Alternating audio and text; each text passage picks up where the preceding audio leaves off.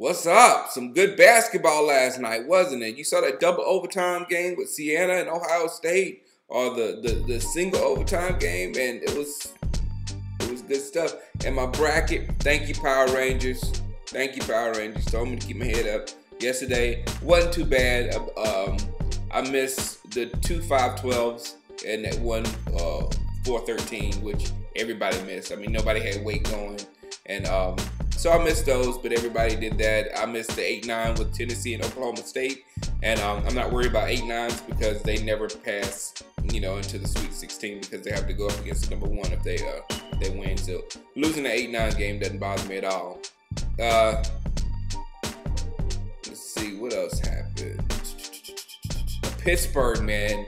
I was watching the East Tennessee State, and they was just in Pittsburgh's behind there for a while, but uh, uh, Pittsburgh definitely has the beef down low, and that's going to be a key for them. They may not play good like they did yesterday, but then when it gets crunch time, they just put their big down low and and, and, and grind. So uh, I'm still kind of high on Pittsburgh, even though they looked not so good yesterday. I picked them Dayton Flyers. Told you about that. I told you Dayton's got a good defense and they held them to 60 points. So I told you about that. That's another thing that, that picked me up um, Arizona, that blew my mind. I didn't think that was going to happen. Uh, I told you guys about USC. I said they're very athletic and they're hot right now. So you, USC is probably the, the one of the major buzzes of the tournament. So hey, watch out there. And Adam, Adam, we got Siena. They got Siena. So I'm, I'm cool yesterday. Um, the Cleveland State of Wake Forest. It was I was uh, tripping because um, uh, there's a video on here of Rick Pitino actually predicting Cleveland State to beat Wake Forest.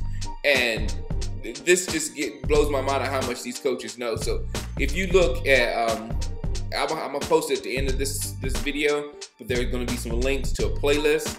Hit the playlist for the uh, games on the 20th, and uh, I don't know the games on the 19th, and I'll put Rick Pitino's uh, uh prediction in there of um, of uh, Cleveland State beating Wake Forest. That was awesome.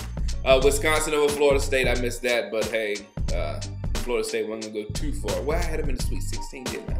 Dang it, ACC killed me. Clemson, Florida State, kill me, kill me. Being a homer, being a homer kills you. All right, unless you this year, unless you with the uh, Big 12, they're getting really lucky. All right, man. Uh, good games today. Wait a minute, hold on. Who who got good to get today? Before I let you go, uh, that UCLA Villanova game, I got Villanova all the way. Uh, Maryland and Memphis. Uh, Maryland's gonna push Memphis, but uh, I don't see uh, them beating them. Uh, Connecticut over Texas A&M. They're gonna have to coach back. Washington's gonna beat Purdue. Watch it, and it's gonna be Washington versus Connecticut. Um, North Carolina will handle that. LSU, uh, Michigan, and Oklahoma. I'm gonna watch that game because I don't think Oklahoma can go that deep in the tournament. Uh, I just don't like their team. I don't know why. Uh, Gonzaga, West Kentucky should be easier one. Maybe I won't. I'm gonna watch that one too. And Duke versus Texas. Uh, I know all you Texas people be, will be watching that, but I gotta go ACC baby all the way. All right. Um, holla at y'all later. Some good basketball today. Peace out.